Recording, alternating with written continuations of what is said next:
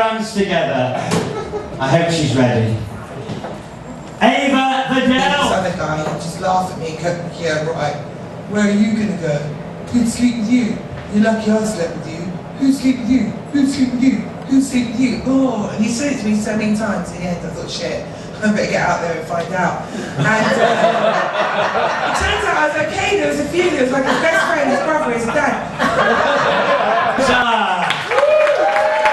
that I need to stop drinking powerful French liqueurs as they're causing my internal organs to fill up with melted cheese. Apparently absinthe makes the heart grow fondly.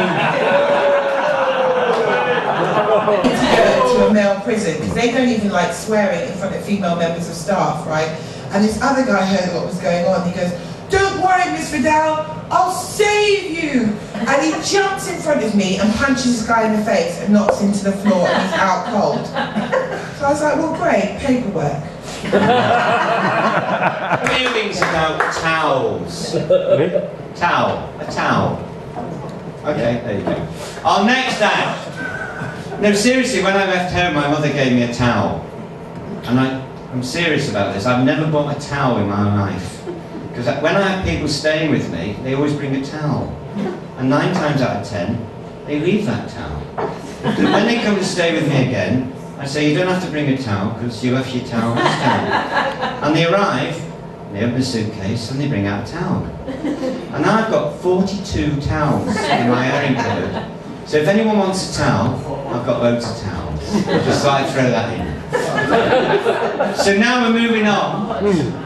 Are you throwing in the towel drawing? I'm throwing in the towel now. That's my script writing. Yeah. Always ruins my gag, so I was just going to do that. I'm throwing in the towel now to um, bring on our next guest, Stella Graham. I've got a better idea. I went, if she's not allowed to drink, then how about the rest of us get fucked up and she drives us home? like, take one for the team, man. It'll be like practice for when she's got her own dribbling idiots in the back of the car. A medical condition where I lose my uh, eyesight if I'm in a city that has too many canals. I'm Venetian blind. Suddenly life's worth living again. Ronnie Golden! Like a lot of people at the moment, I'm in negative equity, which is a union for depressed actors.